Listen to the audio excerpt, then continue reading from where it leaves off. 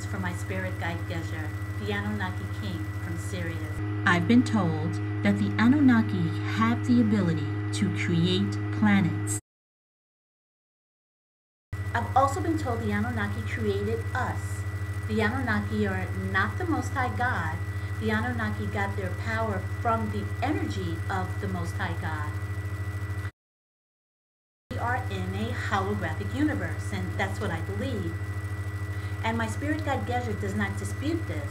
However, scientists have also told us or given us additional information that this holographic universe is wired by a computer program. Discover it for yourself.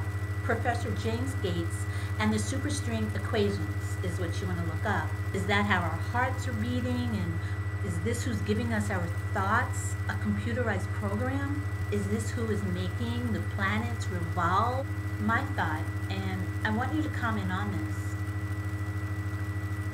this, is whoever is listening to us, whoever is running the program, is it that same someone that's listening? That same someone that's looking and hearing us all the time? If it is true that we are in some sort of a computer program, then that makes it easy for many parts of me to be put or downloaded into many different dimensions.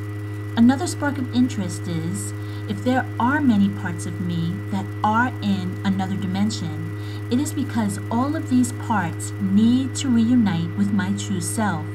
Experiencing every part of me would be necessary.